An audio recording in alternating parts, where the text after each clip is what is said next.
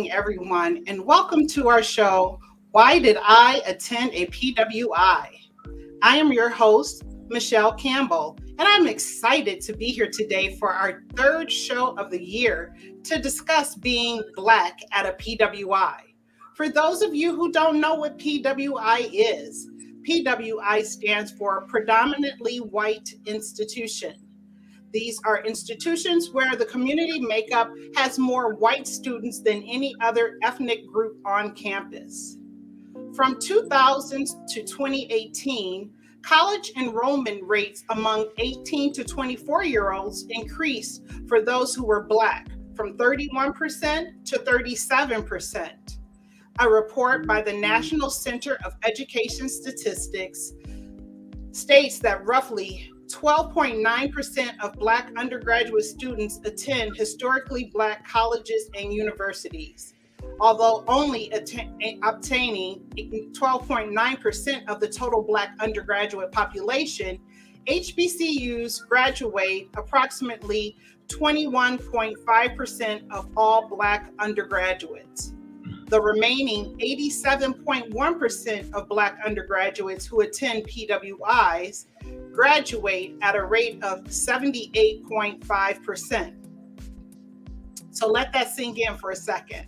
If you have 100 Black college age individuals, 37 of them will go to uh, college.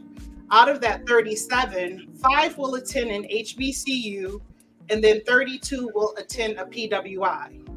Out of that five who attended a HBCU, only one will graduate. Out of 32 who attended a PWI, 25 will graduate.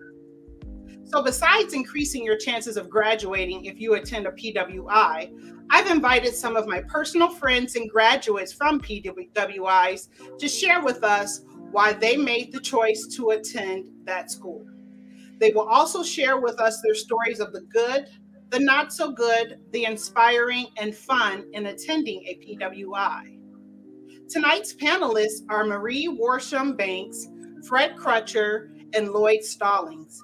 And I'll give you a little bit of background information on each of them. Starting with Marie.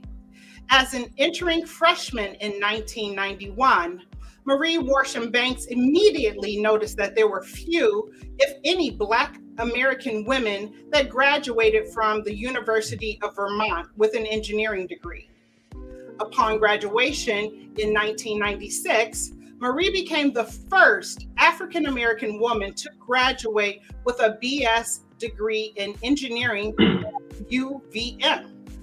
After being offered a position garnered through the Career Development Center on campus, Marie began her engineering career at NYNEX, now Verizon, as an outside plant engineer in Brockton, Massachusetts. She has been with Verizon for 25 years in various engineering capacities. Currently, Marie is a senior network engineer and designs networks on 5G platforms with an emphasis in multi access edge computing.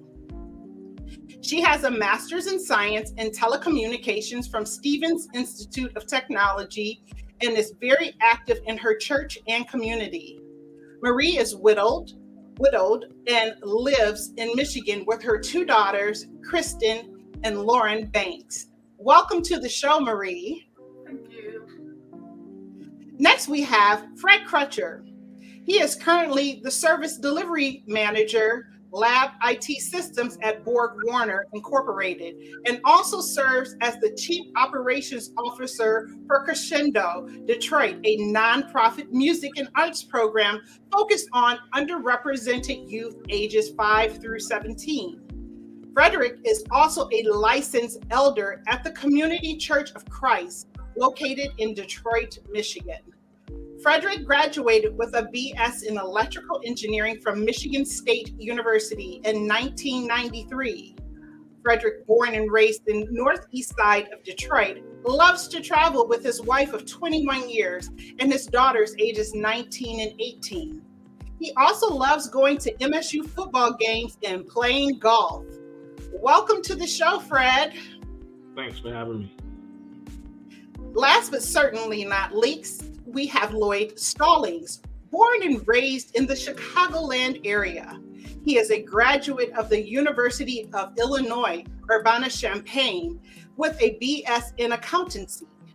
He also completed a dual degree program at the University of Maryland, University College, having obtained an MBA as well as an MS in International Management.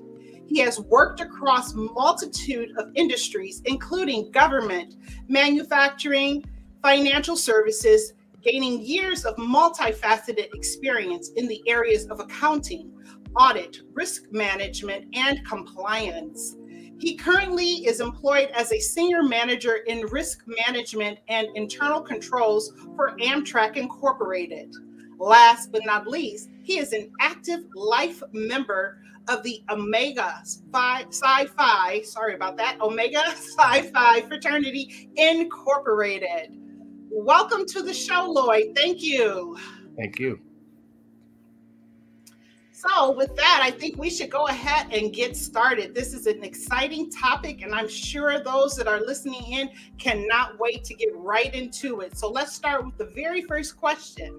And anyone on the panel, feel free to um, you know give your stories uh, answer the question but you know feel free to give your stories and background to support your answer we'll start right at the top so what made you decide to attend a pwi and anyone can take that. Ladies first. oh, that's funny. Um, so I attended uh, Cass Tech High School in Detroit, Michigan. Lloyd, I'm sure you met someone from my high school, either from Chicago. Yes. it was the best high school, but no offense. Michelle or Fred. oh, I get it all the time. My brother went there, so anyway. Exactly. Um, but I actually, you know, I have a different perspective. I chose University of Vermont very in a, a very unorthodox uh, manner. I most of my school went to Michigan State and University of Michigan. Yes, they did. I wanted to do something different. Um, as a high school student, I went, I was on Wayne State's campus for six weeks. I went to Michigan State for a summer for six weeks. And I went to University of Vermont for a summer for six weeks. University of Vermont had a program for high school students that paid them $400 a week for six weeks in 1990. That was my introduction. So, of course, they recruited me like an athlete. I didn't recruit them. I didn't apply for them. When I decided what school I was going to had two criteria. Did they have my major and how much money they wanted? Mm-hmm. So my decision was very simple. It was a race on who gave me the most money. I got accepted to Michigan State, Michigan, Purdue, Grand Valley State. Who gave me the most money is how I made my choice. We'll get into some more details a little bit later on maybe if there's prospective students looking to figure out why how to make a choice between the PWI and the HBCU, and I'll give some context to maybe how they should make their decision. But in 1991, as someone who didn't have parents who saved for them to go to college, it was basically a decision of scholarship and did they have my major? Mm-hmm. That's it. It was pretty good. For me, I'll jump in here right now. For me, it was um, easy for me, first of all, because my um, brother was already attending uh, Michigan State University. But second, um, the church I attended when I was in high school um, was, a, of course, a well-educated church full of, um, um, you know, folks who were who had graduated from Michigan and Michigan State, you know, Wayne State, Case Western. So we had a lot of you know, people, you know, from those schools who who were um, who were my mentors. A couple of the guys were in, actually electrical engineers, you know, working for um, AT&T that were Michigan State graduates. So it was a, it was easy for me. And then of course for me, I went to Osborn, so you know, being accepted to Michigan State was kind of a prestigious thing, right? Coming from the fact that um, my brother and I were the first two uh, college um, students, you know, in our family, that made that made you know you know, that was like a prestigious thing for me to um, to go to Michigan State. So that was, I guess, the short answer, you know, for why I attended um, a PWI. And like I said, I didn't even know PW the term PWI existed until you know, a few months ago when my daughter mentioned it. But yeah, um, that's why I attended um, Michigan State University. And I, and and and, and Fred, I'm the same way as you. I, that PWI term was not very popular back in the late '80s, early '90s. So if somebody would have said that to us back then, it was all about just going to school, going to college, mm-hmm. and you know, playing ball in high school. I attended Proviso East High School in Maywood, Illinois, um, which is again right outside of Chicago, and and all we talked about was going to school, and, and schools were the big schools. We went to football camp at the University of Iowa. You know, we we my cousin when I was a little kid, I used to always go see him play football at Illinois. So we that's what we knew. You know, we didn't mm-hmm. hear anything about HBCUs and the, the relevance of you know learning black culture because we had black culture. We grew up celebrating Martin Luther King's birthday before it was a national holiday. We mm-hmm. were, were taught, you know, the, the transgression in life, and I, and I learned this uh, at a young age, in fourth grade, was to go to graduate grade school, graduate high school, go to college, get married, and be a productive citizen in the world. Our teachers never steered us toward a HBCU or what now is known as a PWI. They just steered us to go get an education in college. And those mm-hmm. are the mm-hmm. schools that came to us and that we knew about. So most of my friends went to either U of I, Northern Illinois, Southern Illinois, Western Illinois. So these were all state schools. Or if they went outside, they went to Michigan State, Michigan, Wisconsin, Iowa, nobody talked about HBCUs like that. So it wasn't a prevalent thing or important that we go to HBCU. It was just more important to us just going to school. And those are the schools that were presented to us at the time. Mm-hmm. Yeah. I, I, think that's really important what uh, Lloyd just said. Um, my parents both attended HBCUs. They didn't graduate from HBCUs, mm-hmm. but my parents both attended at University of Arkansas at Pine Bluff. But at that time when they were in school, that was the only choice they had. Mm-hmm. So a lot of my friends that attended HBCUs, their parents graduated from HBCUs, and a lot of times when you matriculate through those universities, the the love and the loyalty to them gets embedded in their own culture within their family, and it mm-hmm. becomes a generational thing. Because, like Lloyd said, there was no talk about HBCUs at school there was no talk about HBCUs, just even in my house, because I don't think my parents made a choice to go. It was that was the only place that was offered mm-hmm. for them. And so, um, yeah, that that in our um, t- time period, it definitely there wasn't a push.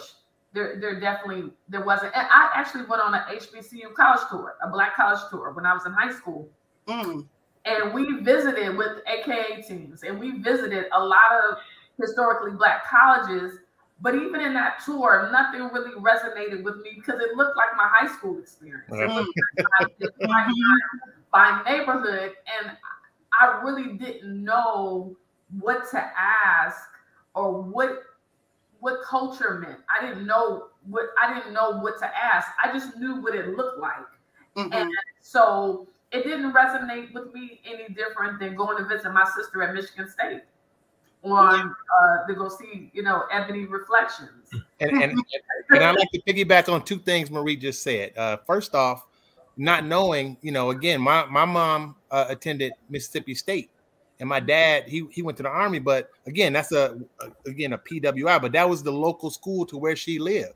So most of us, most you know, our friends, our parents couldn't afford to pay the out of state fees to a lot of these schools. So we mainly looked at state schools, you know, and what were the state schools, you know, or local, or or if somebody got a scholarship, they would go. Mm-hmm.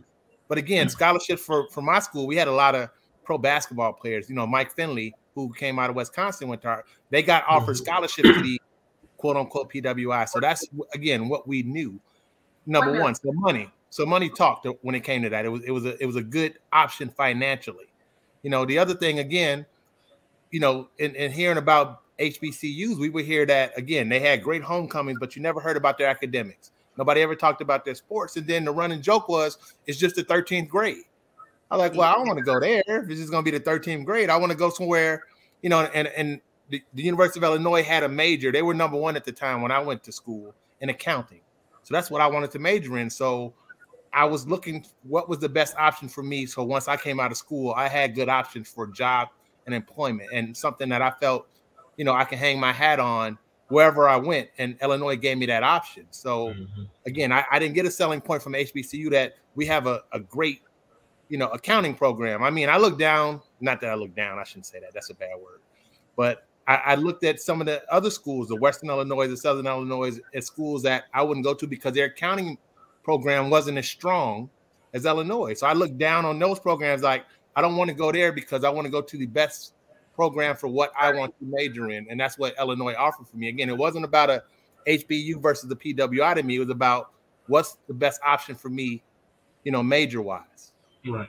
Yeah. And, and, and I'm glad you um you you said something that that triggered me because uh, one of my mentors mentioned to me because uh, for me being in the Detroit area, I was always interested as an engineer to be in automotive, right? The automotive mm-hmm. industry. And one of the things that my mentor said to me back in the day, because I did get accepted to Morehouse. I was one of the schools I got accepted to, uh, was Morehouse. And uh, one of um, the things that one of my mentors said to me is that when you are, and this is not to you know look down on it, but remember this is like 30, 30 years ago, right? And so a different, you know, people talk about HBCUs now is different than what it was back, you know, 30, 30 something years ago.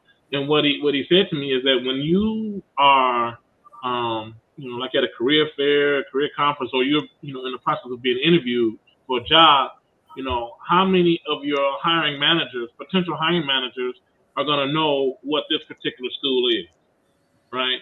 And and so they say you just you never want any yeah. questions, right, about anything as it relates to what's on your resume or, or what you what you've done in school. So a lot of folks in this area, and, and even in the in, in the Michigan, you know, in the southeastern Michigan, you know, it could have been, you know, you went to U of M was the main reason why you got the job, wasn't necessarily, you know, how smart you were in school or, you know, uh, how your interview was. It was the fact that you were a U- University of Michigan graduate and the hiring manager was a University of Michigan graduate.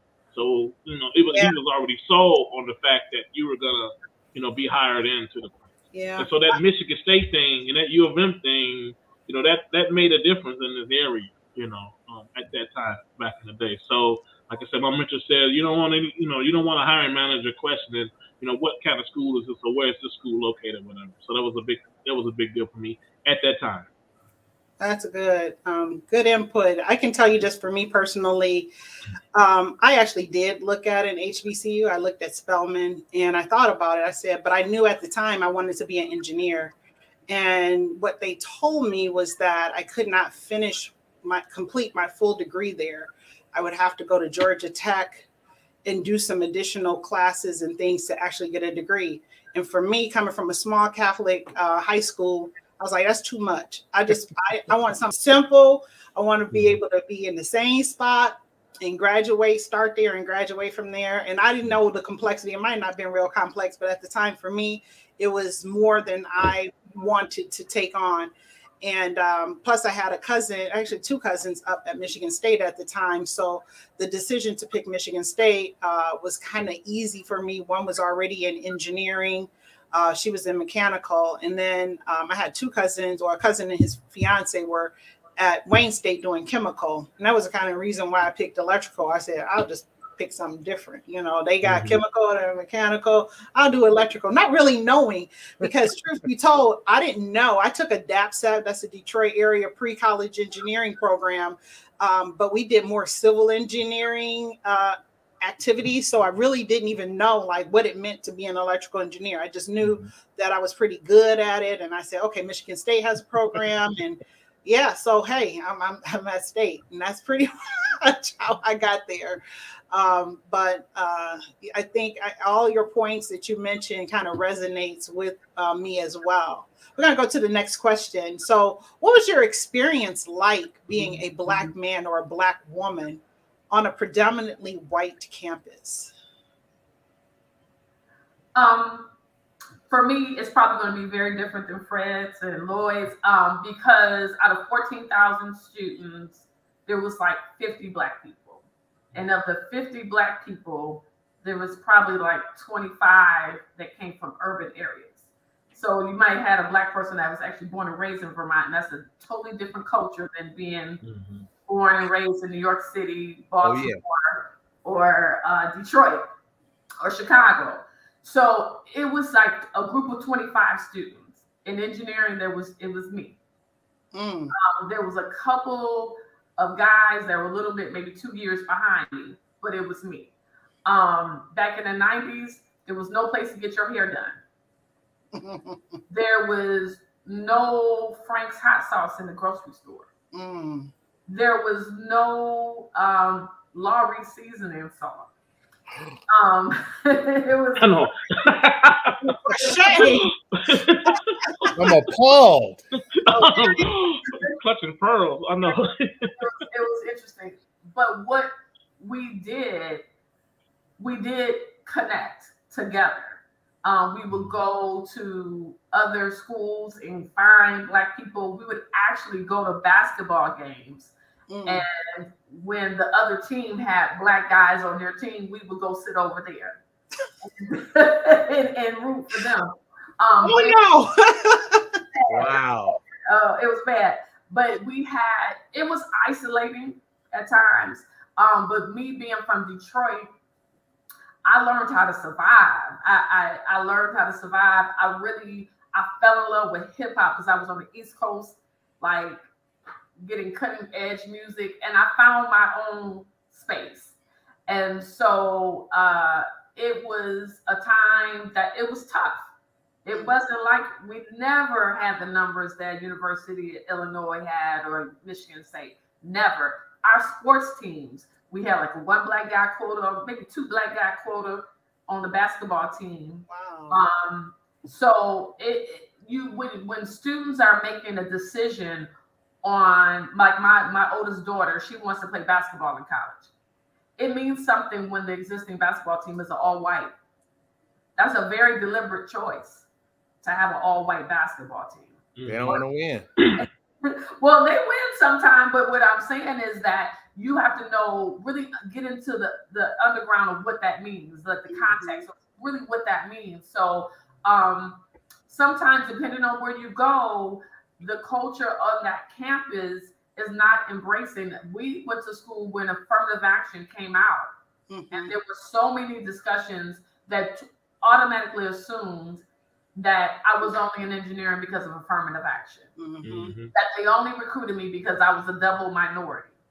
That they only um, allowed me to be in the School of Engineering um, to put me on a a brochure. I, and that's how come you all have all your school stuff. I don't have any because I um I just didn't have that relationship. So for me, it was tough, but I was very focused and determined to leave there with my degree. Mm-hmm. And so, and that's what I came there for. And I did meet very, make very valuable friendships with other students of color. Good. That initial experience. Hmm. Fred or Lloyd? I'll let Fred go again. Oh, okay. I was I was thinking, my because I mean, obviously, you know, Michelle, the experience we had at uh, Michigan State. Um, I mean, you know what? It was you know, Michigan State is a big campus, right? And like at that time, I believe it was forty four thousand students, and we had like forty five hundred black students, only represented ten percent of the uh, population. But you know, between me staying in Brody Complex, right? Yeah. you know, with, with, between me staying at Brody Complex and me being an engineering student in one of the biggest, you know, NSBE, you know, National Society of Black Engineers chapters in the country, mm-hmm. that, you know, did it, right, for me. Um, and plus, you know, and the overall thing was affirmative action case or whatever you want to call it, I felt that I belonged, right? So I felt that I deserved it and I mm. belonged there. So even if those conversations came up, and which they rarely did, um, you know, in, in my because I know because I stayed I stayed in Butterfield and and most of the other students, the white students, Asian students, whatever, we all got along, you know, pretty good. I think what was what was key back in 1988 was a lot of people in this area, in the southeastern Michigan area, uh, I met a lot of people—white, um, uh, um, young white men, young white women who were from other parts of Michigan, like Fenton and Clarkston and some of these areas that weren't heavily populated back then in the 80s, right? In the mm-hmm. late 80s. And so, so us coming on campus, us being cool, kind of cool guys, you know, you know, I've always been a kind of just have fun, you know, kind of dude. Um, plus, the fact that um, I like to give credit to um, you know MTV Raps for introducing a lot of white people to black you know culture mm-hmm. too. So that that you know that Yo MTV Raps thing with MTV, you know, in '88, and and us coming up there, you know, being cool, that did that did a lot for um you know for us. So you know, so it seems like you know, because you know how we how we talk about how we we felt like we were at the black school just based on our experience anyway in Michigan State. Cause we had so many black students and we were all, you know, kind of unified and together. And so it felt like at times it felt like a black college. You know, it, it felt like a it felt like a black college anyway. So um, so we had great times, and I've had and I and I and I have great friends.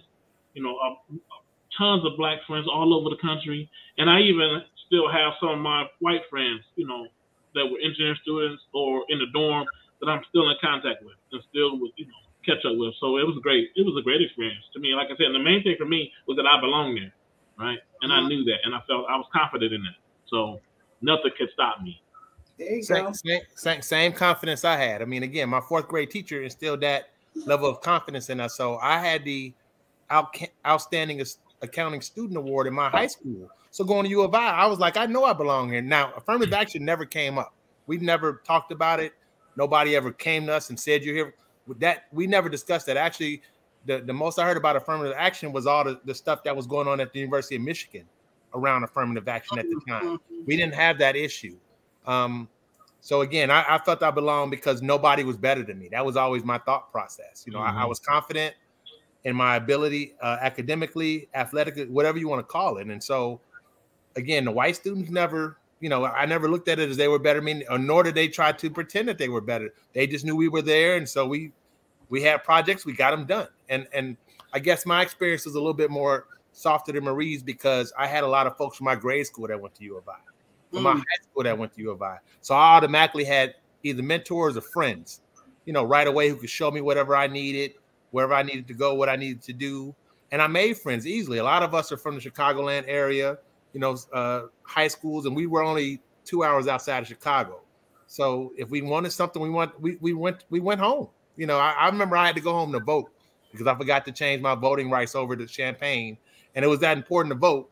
So I drove home, voted, hung out for a couple hours, said hi to my mom, and drove back to school. I mean, that's just type of stuff we would do if we mm-hmm. wanted to get things done. So it was never an uncomfortable situation at all. So my experience was great as well. We had about maybe 4,000 black students at the time, and if you put that in context, that's that's bigger than Hampton. Hampton mm-hmm. has 3,000 black students. So we're bigger than some HBCUs. Yeah. By our, just the, the amount of students that we have. And they all looked out for each other. It was, it appalled me once I got out of school and I was in the city working and I would speak to a black person and they didn't speak back. Mm-hmm. You know, we, we, were like, what? You know, that blew my mind because everybody spoke on campus. They sure did. Yeah, you know, we did. Absolutely. Yeah. yeah. somebody knew you or if they didn't know you, they knew your face because everybody spoke. And then as far as classes, we made sure that if we needed help, we looked out for each other. We we talked to somebody who was, you know, had the class prior, had notes or whatever, and, and we always made sure that we helped each other out. So it was a community. You know, we made sure we got in. And you know, one of the things that uh, a, a prior panel I was on with a PWI experience versus HBCU experience, one of the HBCU folks said, "Oh, my professor cared for me. You know, he he called me if he didn't see me in class and made sure I came to class." And, and I'm sitting there like, "Dude, we were adults. You went to class. No professor called right. me." Right. But my but my professors did make sure that I got what I needed because I remember st- struggling a little bit in tax class because I had uh, test anxiety, and I, I, I aced all the quizzes, I answered all the questions, but I I bombed one of my tests and I went to my professor and I said, What am I doing wrong? And he said, What are you studying? I said, I studied the guide you gave us and the book. He said, Why are you studying the book? I gave you the guide. He said, You're overstudying. He huh. said, you, are stressing yourself. So they always looked out too. They gave office hours, they they were helpful. So they made sure that I, you know, me and anybody else, it wasn't just black students, it was any student, had the resources they needed to succeed. So when they said that, my professors cared for me. I, I was looking at them like my professor cared for me, and he was a white guy. So, you know, I, I, just felt nothing felt out of place for me being at, at University of Illinois. Yeah, I can I can say uh, for myself at Michigan State, um, and again, being in Brody, I think we were really we had like this mecca. And if anybody ever been to Brody at Michigan State, it was like it seemed to be predominantly black. Uh, they used to give us a name, call it the ghetto, but it wasn't the ghetto. It was just a lot of black folks over there. But mm-hmm. long and short of it is, it was a lot of fun. And we congregated. It was like, I think, five or six different dorms that made up Brody Complex. And we all congregated in this centralized area for like breakfast, lunch, and dinner, pretty much. And um, it was like a party whenever we get together because we had taken over the cafeteria. You'd be yeah. there for hours, you know. Mm-hmm. And it was just it. So for me, the only time I realized that it wasn't as black as I thought it was is when I went into my engineering classes. Right. But when you came back home, you had all your people back with you. Yeah. So you know, right. it was it was kind of not so bad uh yeah. experience, right, Fred? You yeah, know? it wasn't bad. You know, we took over East. It was East Brody cafeteria because they had two separate cafeterias. If you were eating over in the north side of Brody, oh right, you, were it was questioned. You know, we were like, what are you doing? What are you what are you doing over there? You know, you know, but the east side of Brody cafeteria was where we all congregated. Right. Yeah, I always forgot it was two sides because I always went to that one on the left when you walked yeah, in. Right. I, I didn't know they had. Yeah, you're right. They sure did have another yeah. side. And so, and, and, and crazy as it was for me, I could, I, you know, I could care less about my professors. You know, I didn't it was crazy because I didn't care about my professors, cared about me. I didn't care about sitting in the front of the class. To be honest, I didn't care about none of that. Right? You know, so it was it was it was just weird enough. I needed help. I got help, but we had a strong support group because we had a lot of um in, in we had a lot of juniors and seniors um who were you know who had already taken you know classes with these professors. You know, mm-hmm. our NSBE group, we had a massive test file so we could go get the study guides, go get you know um, um, tests that other the other black students had taken in the previous year. So we had enough resources to make it happen. You know, plus we, you know, from Detroit, from the east side, you just figure it out. Make it happen. I think for me, um, and I think for, and I always talk in a context to people who are watching the broadcast that's making a decision. Okay because I think um, it matters. Um, experience matters, numbers matter, and like culture matters. And that's something, mm-hmm. like I said, because I certainly was offered way more than Michigan State was offered as far as scholarships and and and computers. I mean, they, you get a job, you get a computer, you'll get all this, and so I really went um, because of that.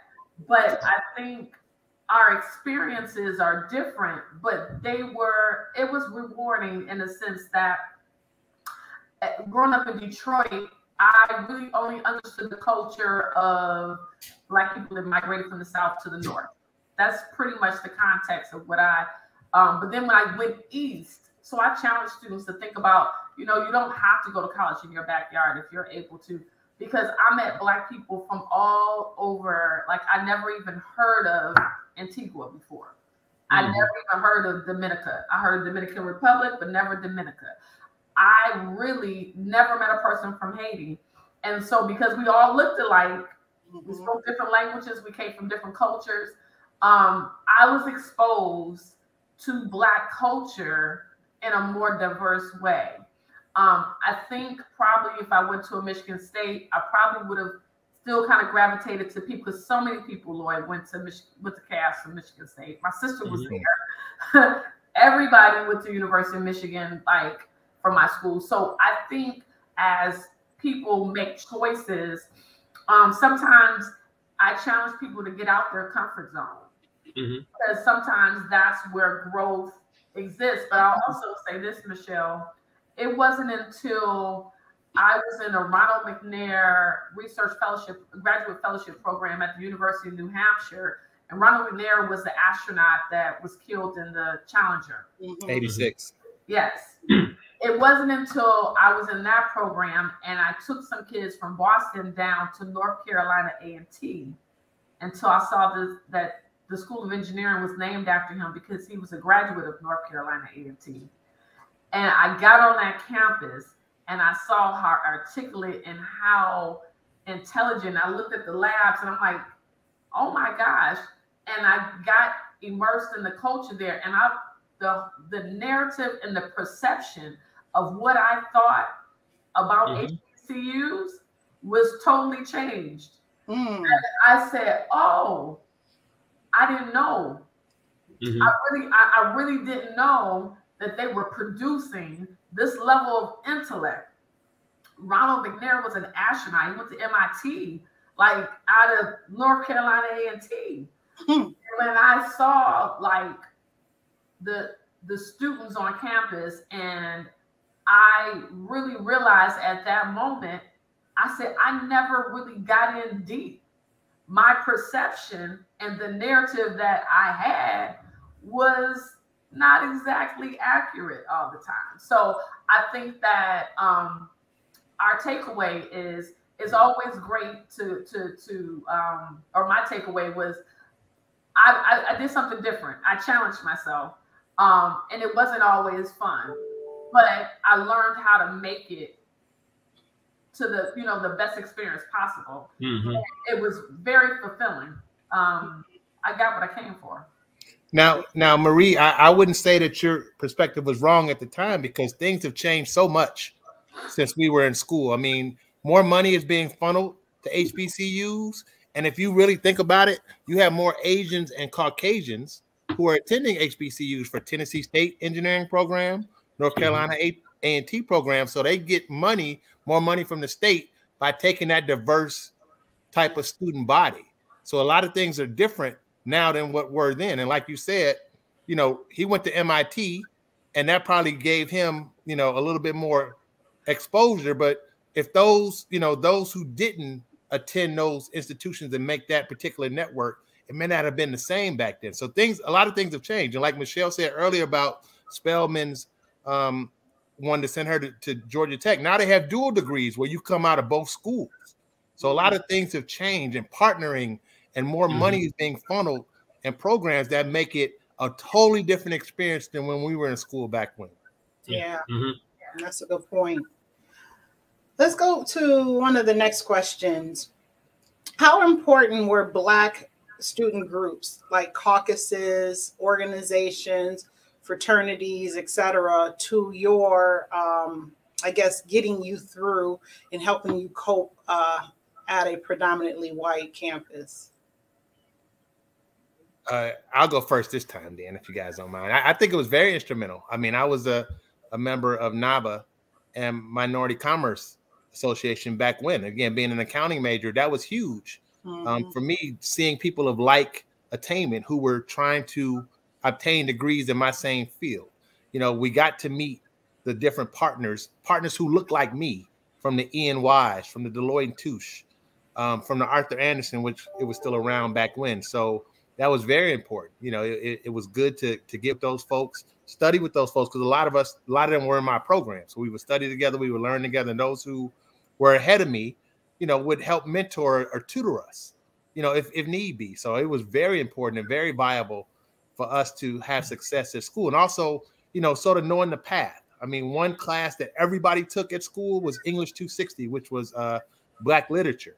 So that really was a big place to meet you know uh, different folks and, and and learn different things about the culture but joining those groups was was just icing on the cake for me you know helping me uh, go along and get along and make the path that much smoother. Again it was hard you know the accounting program wasn't no punk at u of i. They, they were very serious you know about maintaining that status. I mean even today they're number two and they're mad about it because you know when, when i get on the, the business school calls they're really mad. So they're trying to figure out how we can get that number one spot Mm-hmm. Who has the number one spot?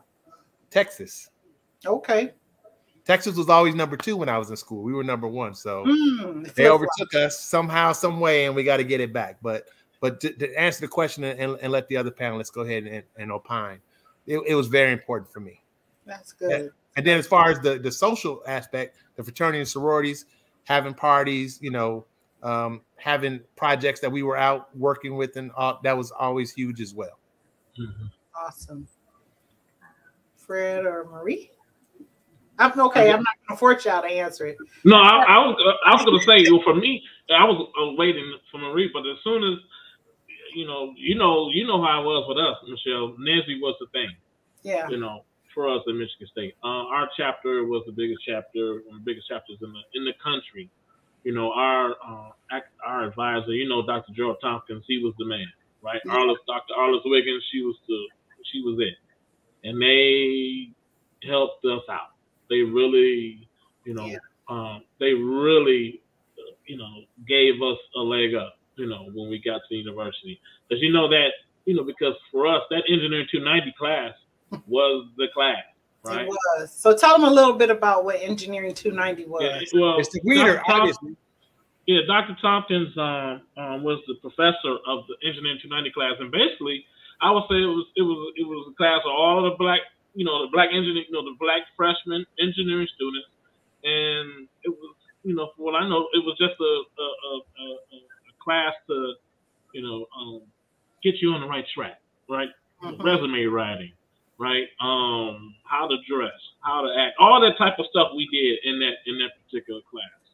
And I mean, we even had a book. I was trying to think of the book that we had for that class, but we never really, you know, we never really read the book. But yeah. he would Tompkins would put you out on, you know, he would he would stand you up and he would ask questions, you know, you know, oh, yeah.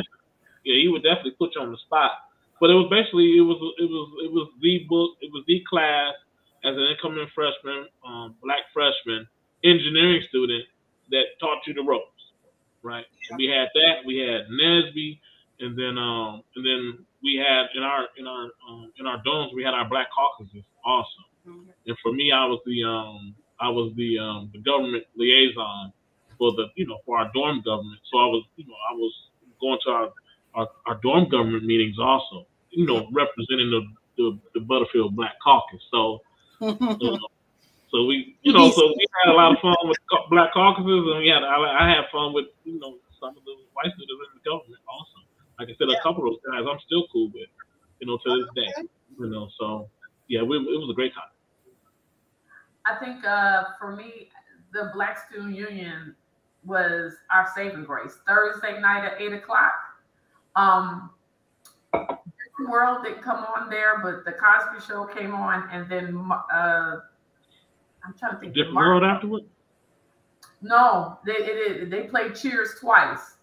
oh, okay. So, so well, we would go to our Black Student Union meetings, and those were so important um, to us. We would dress up, we would, you know, get together, but we also had we leveraged being minority students on campus. So we had a budget of like forty thousand dollars thirty years ago. Mm. And we brought speakers out. We brought Na'im Akbar. We brought Maulana Karenga. We brought uh, Frances Cress Welsing. We uh, Chuck D, Spike Lee.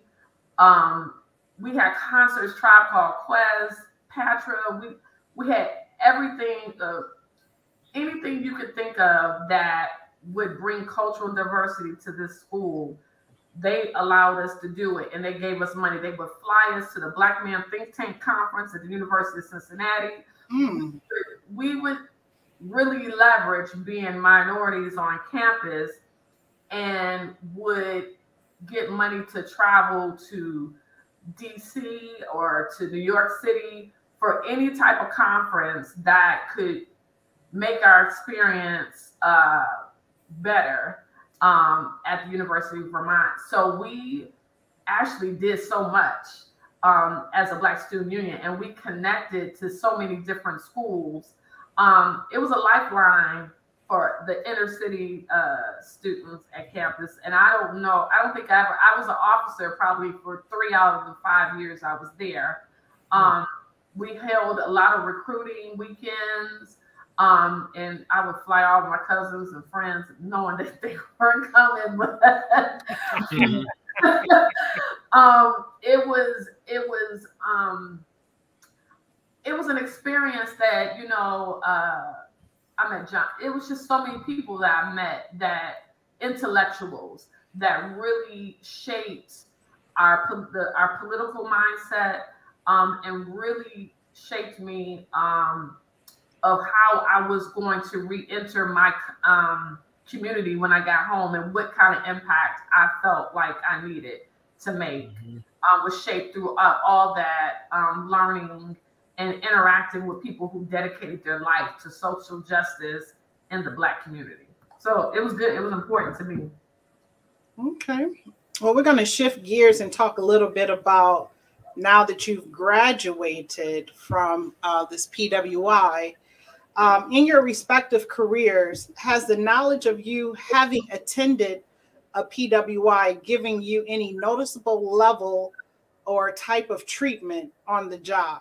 So the fact that you went to U of I, now people start hearing you a little bit better, or you went to Michigan and University of Vermont, and you're like, okay, this is a respectable school in my book, enough where I'm now going to give you the respect back. So just do you, have you experienced any of that in your professional career by the fact that you went to a PWI? Mm-hmm. Hmm. Fred, I think Fred said said a lot earlier when he talked about how his counselor said that you know the people you be working for how they will respect you because they went to those schools or they mm-hmm. went to schools that were in that same you know conference or whatever. So um, that really helped. When i came out of school you know having an accounting degree from u of i you know they again the rankings were big back then. It's, it's you know always you know especially those that read the us and news and world reports you know it, it was a big thing at, at the time when i was first looking for jobs and you know, when they people say, "Oh, you got to count," oh, Illinois, oh, so it, it you know, it, it, resonates again because of the degree. You know, these days, I think with you know some other schools, same thing with di- different majors that are that are prevalent at those schools. It always matters. So, but it does help because, um, you know, I experienced a lot of different cultures at U of I. So not just white folks. You know, Asian, Indian, mm-hmm. um, you know, different countries, Africans. You know, so I, I I felt I was better prepared going out, knowing, you know, and and communicating and, and networking with these different cultures. I remember going on an accounting trip, and um, for one of the partners invited me to, and I was the only black guy there, mm. you know, only black person, period.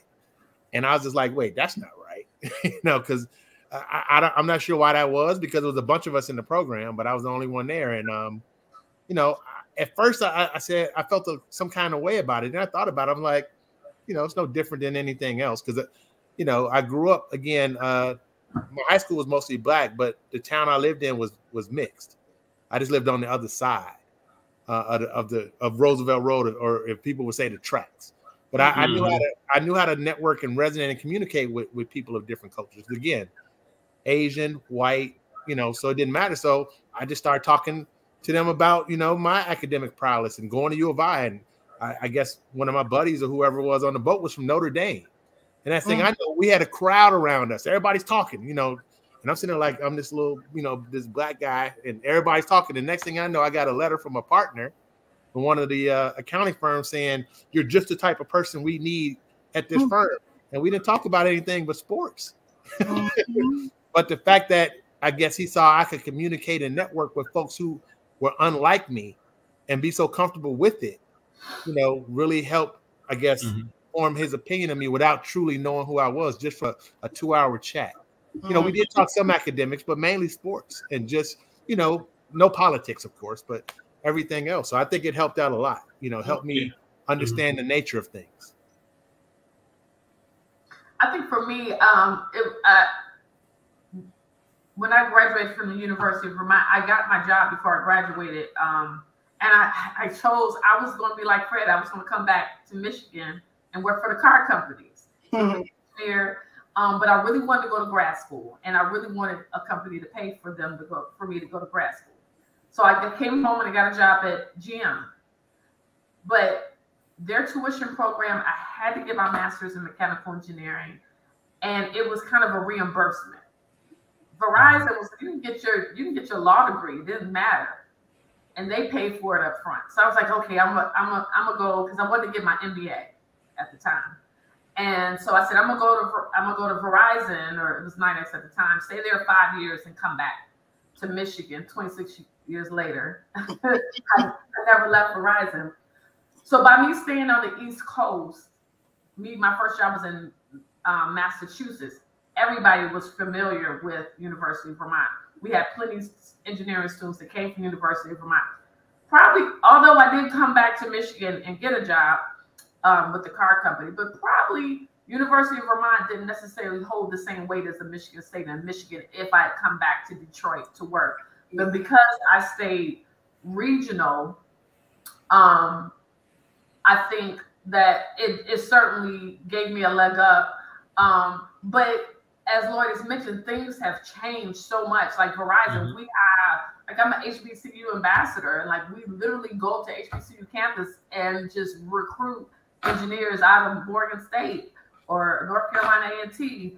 So I, I, think it goes both ways. I think the killing thing is like Lloyd and Fred both had confident. I and I think I, I attribute it coming from Detroit. When I walked into my interview, he said, "I don't think this job is for you." I said, "Why not?" He said, "Oh, I think you might be better suited for something else." I said, "So what's the qualification for this job?" He said, "The engineering degree." I said, "I got it, and I want this job." Right and I'm about to negotiate my salary because I had three summers of internships. Bam, bam. so at the end of the day, it's important where you go, but you gotta wherever you choose to go, you gotta have the confidence, like Fred yeah. had, Lloyd had, to say, I'm mm-hmm.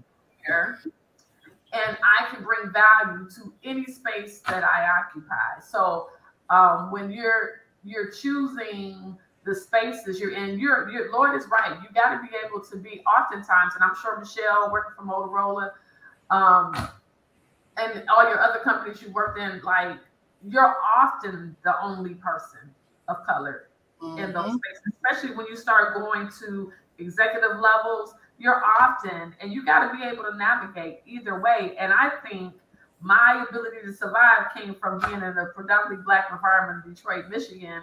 I was yeah. like, okay, I'm gonna figure this out. right. Yeah. right. Mm-hmm. And I to I, I knew not to shut down a bridge because I was the only one. I'm like, there's something left on the table. Like Fred mentioned, the east side came out the west side. I'm like, if there's something on the table for the taking, I'm not gonna mm-hmm. walk away from it. I'm gonna get it. So yeah. yeah. That's good.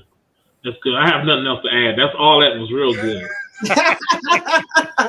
so real good. But you know that sports, you know, you know, it's amazing how what sports can do. You know, yeah. and, and yeah. that whole Michigan State, Michigan, and you know, in these in these companies, how you know yeah. sports can can can just a conversation alone can um, do a lot of good things for you. But yeah, that was that's everything that they all said was great.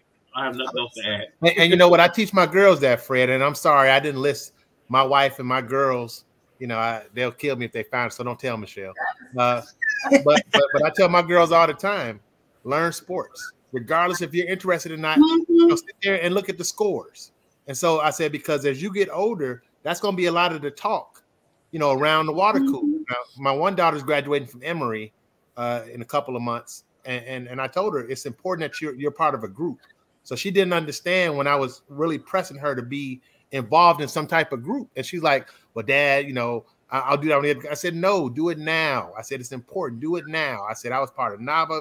I said, the fraternity sororities, all, whatever. I said, Be involved because you need to learn how to communicate with people from different backgrounds. Yeah, you need to learn. And, and I said, Because it's important. Networking is so important now. It was important then, but it's super important now that you you can get a get a job or lose a job or, or, or, lose a promotion because you don't network with enough people. You don't go. They don't see you at the lunches. They don't see you come to the to the happy hours ever.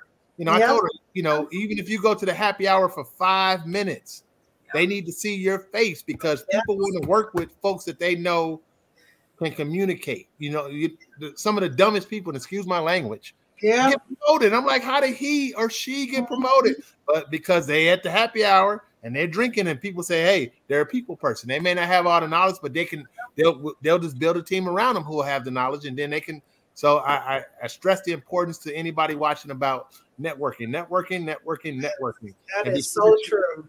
be sure you join some group uh, and, and get you know get that diverse experience in dealing with people with different backgrounds. Even if they look like you and they're from texas they were raised differently. They see things differently. Learn where these people come from because you may be working with somebody from Texas. And you already know how they think or how they were mm. raised. So you got you got to teach folks how to how to master the in and out in five ten minutes of the networking group. You know, it's a, right. it's a it's a it's a way we've done it over the years. It's a, way to do that, right? You know, come right. in, shake some hands, you know, pat some people on the back, grab a quick drink, you know, and keep standing and keep walking and just, you know, I gotta go, y'all. See you the next time, you know. Yeah, gotta pick up the kids, gotta gotta pick up the wife, whatever your excuse to get out of there. But yeah. they see oh, yeah. you. They see you. It's important you. to be seen. That's the mm-hmm. important. Mm-hmm. Yep. It's so true. Um, I'm just going to add a, a, a, little bit there. Uh, for me personally, getting hired in right out of Michigan State at Motorola, which was the number one company to work for for engineers at the time, um, my, the guy who I interviewed with, he actually came to Michigan State, and they were having like a series of different, you know, interview um, processes and things going on, and he, I believe, he hired me because he went to Michigan State Mm. Like he was a graduate. He went through the engineering program. He knew what I must have gone through because he mm. did it. And he thought, well, she must be pretty good because I did that and I know what she went through. So I really believe that in part is why I got hired there. Um, I, I also had a couple other opportunities, but you know, I, I kind of wanted to stay in the Midwest area not venture off too far, not knowing that having a degree from Michigan State University in the Midwest meant something. It means more than when I went and relocated to Boston and they're like, you know, we got MIT here, we got this and this, and okay, Michigan State, Harvard, you know, well, you so it's like a whole different mm-hmm. mindset depending on what region you're in and what schools are hot in that region. Uh, so but by that time i had already had my experience and things so that didn't really matter so much but just thinking about it too as a uh, a young uh, younger man or woman that's trying to figure out where they want to go in the end game if you know you want to maybe work in new york city right you may want to go to a school on the east coast and I only say that because you're going to get a different respect level of that school. Not to say it's no respect for Michigan State, but that's mm-hmm. that's hot here in the Midwest. I can tell you because I go to school with people that I mean, I see I work with people who you know were at Ohio State and U of I and Wisconsin and you know all of that because it's all kind of in the same spot, right? But you know, if you go east, you might get one or two. Like I I, I notice the difference too. Is like I like the Michigan State, you know, paraphernalia. Well, you'll never see that in Boston. Like the whole time I was in Boston, I never saw anybody with MSU stuff on. Uh, as I move closer into like the the uh, I would say Western New York, you start seeing it a little bit more because it's getting closer to the Midwest. But it, it you know, as you could just tell what people what resonates to them. Now it's like if I hear somebody say "Go Green," it's like, whoa, okay, go white. You know, I'm in, you know, New York, and they're saying this is pretty cool, but um, that's something to think about. If you want to be in the South, maybe you um, want to go to a school in the South because there, those schools down there are respected. They got they got a lot of folks that went to school in their like backyards, and so that that's definitely something to to consider. And one last thing uh, about the sports for me, I started a, a, a women's golf league Black Women's Golf League in Chicago. There were other Black professional women who we knew that we were going to get into the C suite at some point in our career. And the conversations, the deals, and things are made on the golf course. Mm-hmm. And so we had to learn how to play golf. It actually ended up being fun, but you know, part of it was purposed that we went and took professional classes. We went out every Saturday and we played as a you know a group because we had to have those. I've had conversations. I've had I've had gone on golf outings with the president of Nokia. I've gone out with some of the top like CEOs, presidents, VPs of major corporations. I played with Verizon, you know, so it it um it does matter because they'll say, well, they don't ever see anybody that look like me. This little brown girl from Detroit, you over here uh playing golf with people who've been playing golf all their life. Their daddy played golf and their granddaddy and all that. Right. You know how to play golf? Yeah. Oh, I got some tailor-made clubs here, and you know, we're gonna mm-hmm. get out there and do it.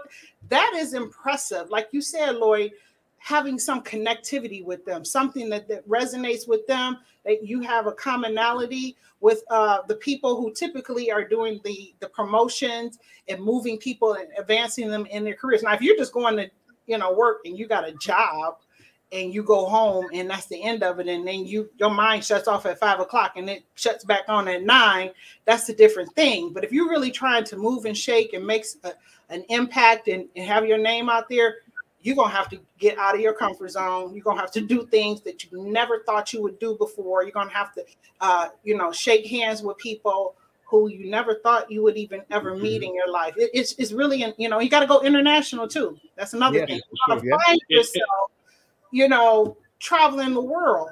So think those things in mind. It all depends on what you want to do, I guess, with your career. But mm-hmm. I think that you, as a young individual, when somebody gives you the opportunity to say, why don't we go to Paris and do this exchange program, or why don't we do that?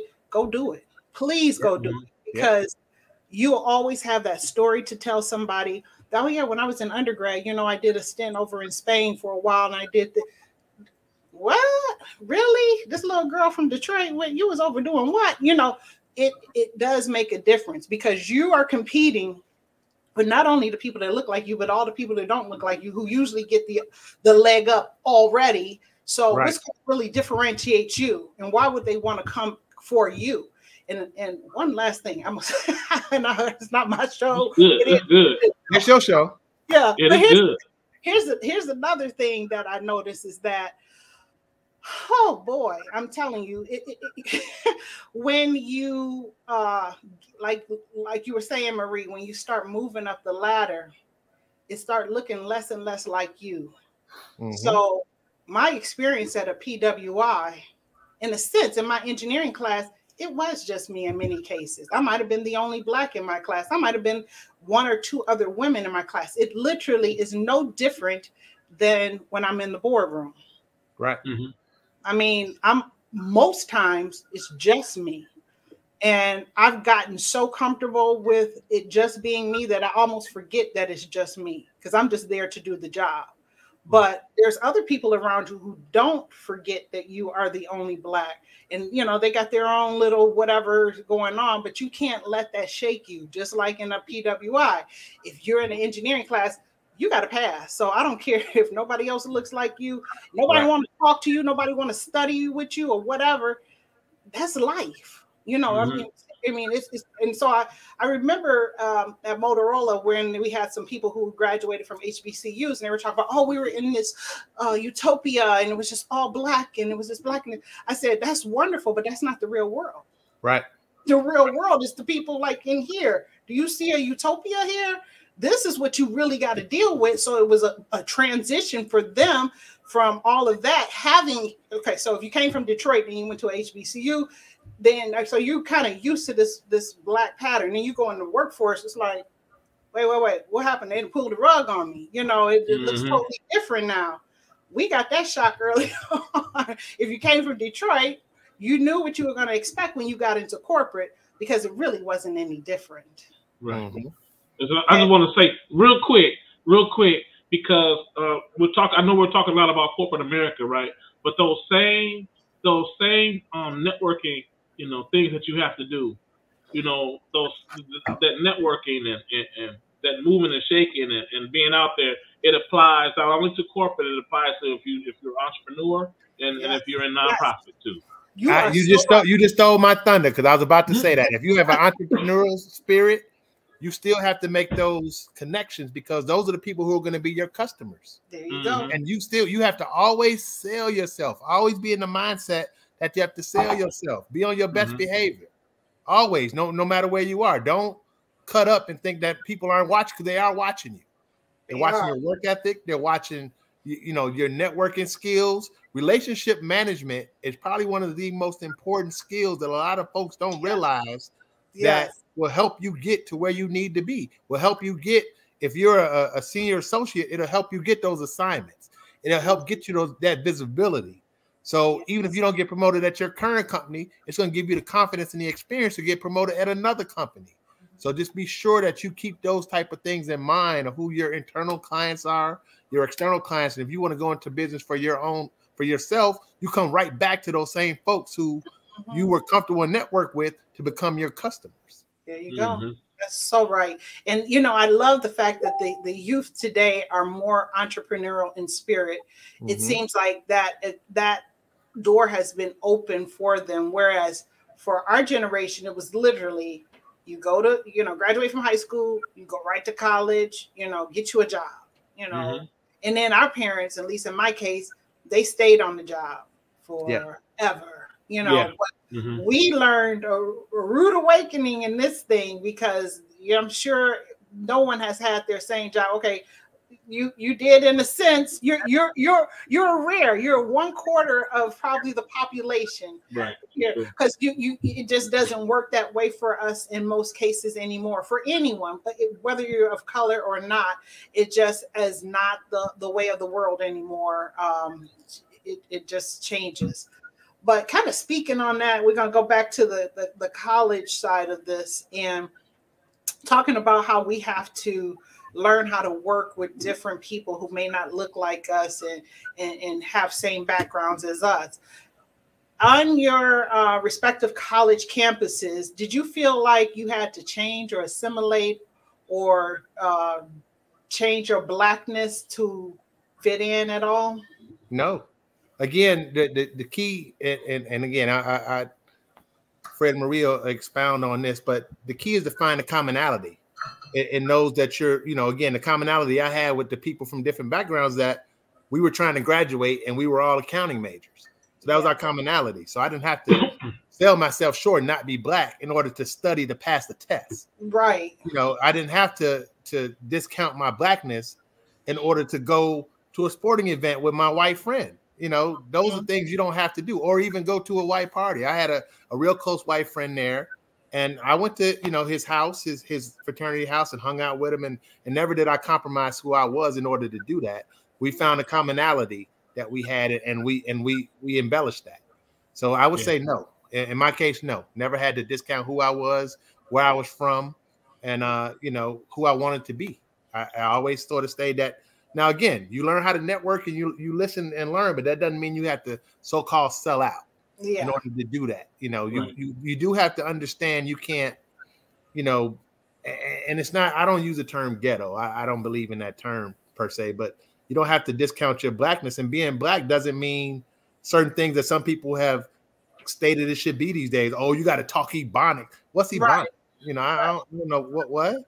You know, you just talk. You, you talk. You communicate properly, and mm-hmm. don't have to be talking white or talking black. It just be being able to communicate mm-hmm. with those who you need to get the message across. That's right. Yeah. Uh, well said. Well said. Anybody yeah. want to add to that? I think for me, uh, definitely, I was. We were so entrenched in who we were coming from Detroit. They called me Miss Black Detroit because nobody from New York or you know they they never met people from Detroit before. And they're like, what? What do y'all drink in Detroit to make y'all just rep your city so hard? So I was always um, very true to who I was. And I remember I, I spoke on another podcast yesterday. And I think, if anything, I even identified being more black because I was always the only black. So when I interviewed for my jobs in corporate America, I specifically went with my hair in braids back mm. in 1996. I had them in the micro mini braids, but they were braids, and I put in a nice low bun. And because I wanted to make a statement 30 years ago, like they they, they just passed a law about it. I forgot the name of the law. Yeah, the, the hair law. I know what you're talking about. The what the Crown Act, my daughter. Yeah, the Crown Act. Mm-hmm. um, but in 1996, when I was interviewing, I really made a statement. I'm like, I really want people to hire me for who I am, and I don't want to have to change what I look like. Um, and I didn't wear my hair in braids all the time, but when I interviewed, I wanted to check your pulse. Wow.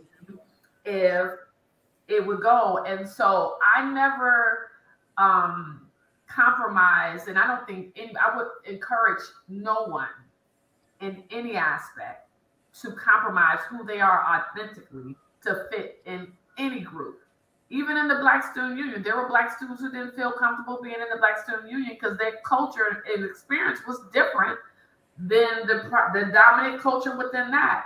Mm-hmm. But I think that that can cause a lot of problems mm-hmm. if you really try to change who your authentic self is. So I yeah. don't recommend that at all. Yep, yep, didn't have to change at all. Like I said earlier, we um, you know, a lot of people that I, you know, met, white students that I met were intrigued by us. You know, being from Detroit, being black, you know, they were a lot of those um folks were learning about us, right? Because they never went to high school, never went to, you know, had any of their um, black friends in middle school or elementary school. So, so with some of those folks, it was their first time meeting um, black people. So they were, you know, like I said, my people were intrigued by us, and so, you know, we didn't have to, we didn't have to change. We didn't have to, like you said, sell out. We didn't do anything, and we did everything. You know, we, you know, I went, we went to white parties. We hung out with some of those things too. But like I said, we did a lot of black stuff too. So. Right. Yeah. we even had some of some of the white people, you know, some of my white friends come to black stuff. So it was um really mm-hmm. interesting. Yep. So. Very good. Very good. Mm-hmm. Well, I'm gonna check. Um, I know I got some more questions, but I'm gonna see if we have any on here because uh, oh, we got four comments. Let me let's see. Make sure I can read all of these. This first one is from Sean Smith. He says, My father told me he would not pay for me to go to an HBCU unless I was majoring in education. He said, ironically, I graduated in mathematics education. So that was a thought there. Um, let's see, the smart universities have programs that help Black students acclimate. Some would look, uh-oh, some would look at that as negative, as if we couldn't hang with them, but they didn't know what they were really doing. They allowed us to connect with each other, and together we were unstoppable. Mm-hmm. I, I, I, think they did know what they were doing. Mm-hmm. I, I, mm-hmm. think so, but yeah. Um, this mm-hmm. is from Rick Stringer. Fascinating. Hearing a POC student's experience is the Hinterland School of UVM, just wow. My alma mater, PSU, also also rural, remote, and mountainous. But mm-hmm. we at least had higher POC enrollment, people of color. They do. And then this one is for Lloyd. So much formal networking on the golf course, booting, civic events, etc. Great, great example you cited. So mm-hmm. just really good um, feedback from the people um, on the chat here. Um, let me see what time it is. I usually always run over time. Yep, I, of course we did. We ran over time. Um, I have more questions to ask y'all, but um, part two. Yeah, we can. That's right. Yeah, you do the part two for sure. Yeah, let's let's think about that. I know um, next month I'm going to do the HBCUs. So I'm going to um, solicit some people. So people who are listening now or on the replay, if you want to be on the panel and you went to an HBCU and graduated and want to give us your counter to what we've just talked about here, feel free to hit me up in the DM and let me know that you are interested. Um, well, I'm not going to hold us much longer, but I will give each of you about 30 seconds to give your final thoughts or advice or information you want to share with the uh, SMAC Nation before we close out here.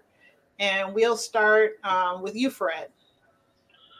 Hi, um, this is um, this has been a great panel discussion. Uh, even more information and, and than I thought. But I guess the only thing that I would um, leave with was, was kind of based on that last thought that we had that anything that you um, any type of networking, anything that you've learned you know, through your, you know, university life, being at a PWI, you know, it, it, you know, you make sure you take that into your corporate life, into your, if you're a nonprofit and you're, or if you're in entrepreneurship, those skills that you acquire are gonna be needed in all different phases of um, of your of life, you know, your growth in, in yeah. your life. So that would be the only thing that I would uh, reiterate, you know, from this um, you know, from this panel discussion.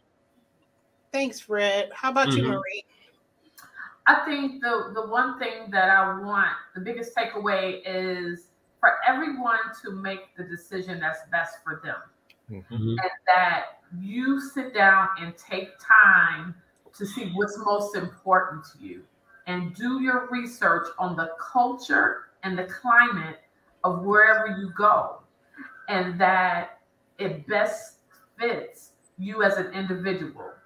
And lastly, um, when you start choosing your institution of higher education, really consider what part of the region of this country you want to live in, because oftentimes Mm-hmm. That's a good point. kind of matriculate into that area. That's where your biggest network is.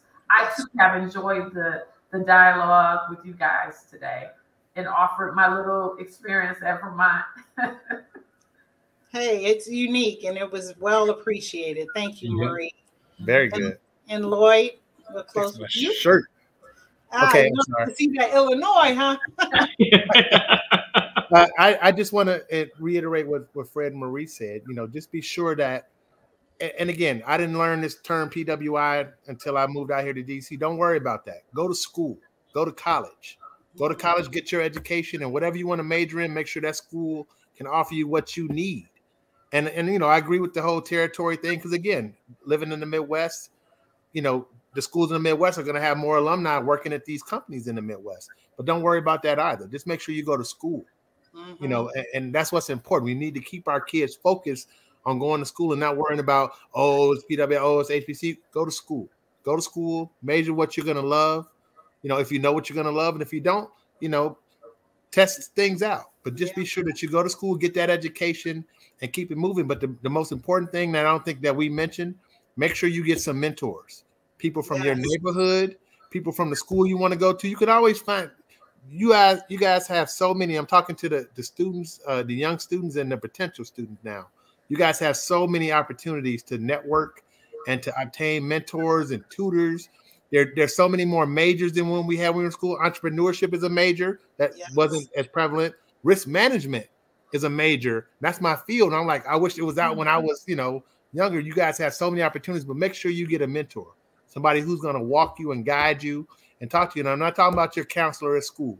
I'm talking about some adult, somebody, cold letters. If you have to write a person, say, hey, I see you're a graduate of University of Illinois or Michigan State or University of Vermont, and I'm, I'm interested in that school or I'm interested in this major. Can you please, you know, take the time to, you know, tell me a little bit about the school tell me a little about the field. And you'll be surprised if folks will write you back. I know I would because I want to make sure that I help. That that's that's my cause to help and, and uplift, and that's the way Mhm. to uplift. So do not be afraid to reach out to people either in your parent circle, your family circle, or just cold letters to where you look for that mentor who was, is willing to give you advice to help guide you on your path. Yeah, I can guarantee you, uh, pretty much anybody that you reach out to that has gone through what we're talking about, who's done this path, this journey, is going to be more than happy to give you that advice. I, I guess I just didn't know enough. Like Marie, you were saying at the top of the call, um, we- we just didn't know. We didn't have enough information. Now there's so much information, and pretty much like all of my friends have gone to college, so at least my children have all of that as resources and access, right? And so Yep. hopefully anybody who's listening to this, you have SMAC Nation now, you join SMAC Productions. There's tons of people on there who are college graduates, and I, I can assure you that they'd be more than willing to help. Think how dangerous we would have been if we had the internet back in the day. Man, man, Hello. wait, wait. I should have mentioned Lloyd is the founder of our Big Ten Black Alumni Network on Facebook.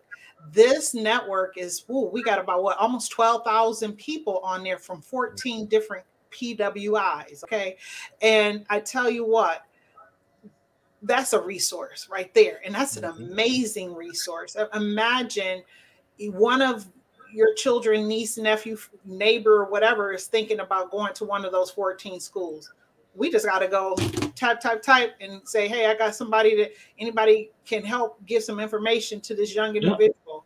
And I'm it'll flood in. And Yeah. I, I, I'm so, so gracious that you uh, um, asked me to be an admin of that because, uh, you know, we've got quite a few people at, from Michigan State on there. And I just think it's a, a wonderful vehicle. So if anybody who's from a Big Ten and you're Black and you are a graduate of that university, you should try to join that network. It is absolutely amazing. We have fun. We talk uh, so many serious issues. It's just a real constructive environment.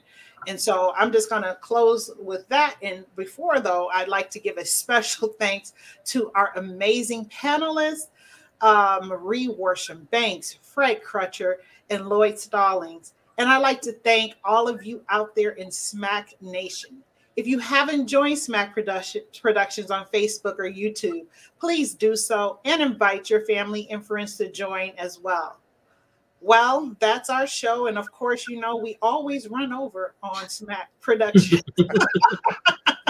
I don't know why it is. We just when we get together, it's like family. So yeah, that's sure. how it is, you know. And uh, like I said, next month is HBCU. So if you're interested, uh, please hit me up in a DM and uh, we'll talk. And I only, you see, it's a, a, small group to keep it down because we could really be here half a day talking about this topic, but we're going to keep it small.